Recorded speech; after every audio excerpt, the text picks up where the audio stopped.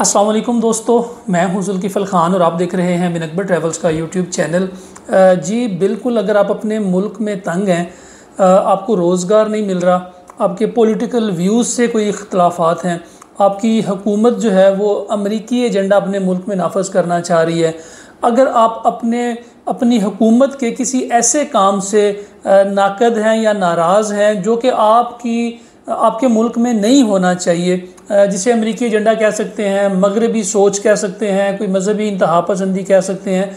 तो इसके लिए रशिया ने, रूस ने सारी दुनिया के लिए अपने दरवाज़े खोल दिए हैं। लेकिन कुछ इख्तलाफात के साथ, यानी कि कुछ जो हैं वो रिस्ट्रिक्शंस के साथ, कुछ पाबंदियों के साथ व्लादिमीर पुटिन ने परसों दो दिन पहले एक डिक्री साइन की है जिसके अंदर उन्होंने सारी दुनिया को कहा है कि रशिया में आए, रशिया एक सेफ़ हेवन है उन लोगों के लिए जो कि अमन पसंद हैं, जो कारोबारी हैं जो टैलेंटेड हैं, जिनके अंदर कॉन्फिडेंस है, जो कोई ना कोई काम करना चाह रहे हैं, अपने मुल्क को बढ़ाना चाह रहे हैं ग्रोथ बढ़ाना चाह रहे हैं, अपनी तरक्की करना चाह रहे हैं, तरक्की पसंदों के लिए रशिया जो है वो एक सेफ़ हेवन है। लेकिन उसमें जाने का तरीका कार क्या होगा? कौन कौन लोग जा सकते हैं और किस तरीके से जा सकते हैं? इसका लिंक मैंने डिस्क्रिप्शन में भी दे दिया है कि आप एक दफ़ा ये ख़बर भी डिटेल से पढ़ लें, क्योंकि इससे पहले रशिया में जो फॉरेन सिटीज़नशिप थी, उसमें एक कोटा दिया जाता था कि आपका एक कोटा लिमिटेड कोटा है हर कंट्री का, इस कंट्री के इतने इतने लोगों को सिटीज़नशिप या रेजिडेंसी दी जाती थी। लेकिन अब ये इन्होंने बिल्कुल ओपन कर दिया है। पहले लैंग्वेज का भी बैरियर था कि आपको रशियन लैंग्वेज आना ज़रूरी है। अब वो भी उन्होंने बैरियर ख़त्म कर दिया है। इसके पहले इन्वेस्टमेंट का था कि आप इन्वेस्टमेंट आगे करेंगे तो फिर ले सकते हैं। अब इन्होंने वो भी ख़त्म कर दिया है। पहले डिफरेंट कंट्रीज़ में था कि ये ये कंट्रीज़ आ सकती हैं और ये ये नहीं आ सकती। अब उन्होंने वो भी ख़त्म कर दी है। मतलब कि हर किस्म की उन्होंने पाबंदी ख़त्म कर दी है। अगर आप दुनिया के किसी भी कोने में हैं और अपनी हुकूमत के, अपनी रियासत के, अपने मुल्क के किसी भी जो इकदाम से नाखुश हैं तो आपने करना क्या? इसको अप्लाई कैसे करना है? आपके मुल्क में जो भी रशिया की एम्बेसी है कौंसलेट है, आपने वहाँ पे एक लेटर लिखना है उनको। डिटेल्ड, एक्सप्लेन्ड लेटर लिखना है कि किस वजह से और किस रीजंस की वजह से आप रशिया में जाना चाहते हैं।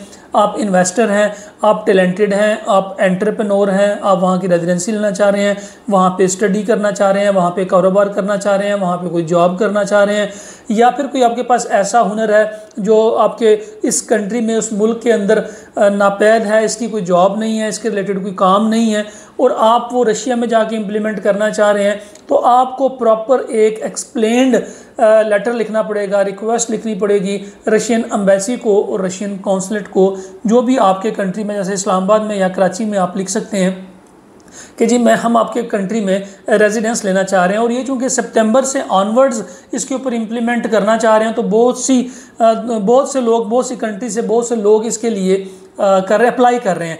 तो आप लोग भी अगर अप्लाई करना चाह रहे हैं, जो बंदा अपने मुल्क में किसी भी वजह से तंग है, बेरोज़गारी की वजह से तंग है, हालात की वजह से तंग है, या हुकूमत की किसी भी ऐसे इकदाम की वजह से जो अमेरिका को खुश कर रहा है या वेस्ट को खुश कर रहा है, उसकी वजह से अगर आप तंग हैं तो फिर आप रशिया की नेशनैलिटी के लिए, रशिया की सिटीजनशिप के लिए, रशिया की रेजिडेंसी के लिए अप्लाई कर रहे हैं, कर सकते हैं।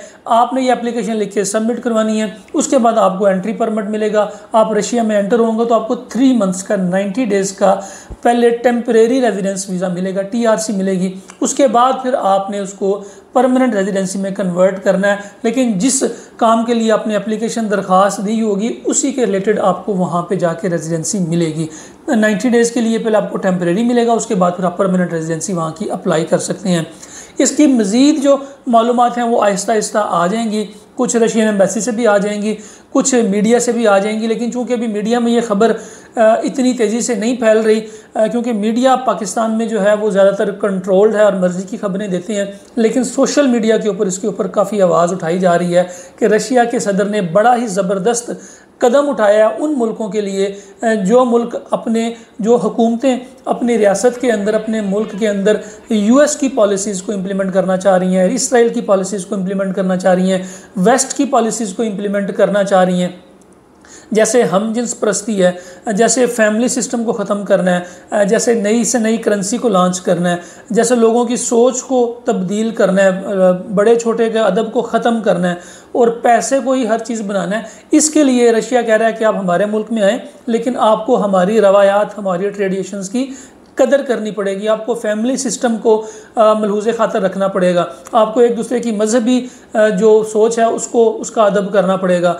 इसके अलावा कदामत पसंद जो होते हैं, जो इंतहा पसंद है, उनके लिए इस मुल्क में कोई जगह नहीं है।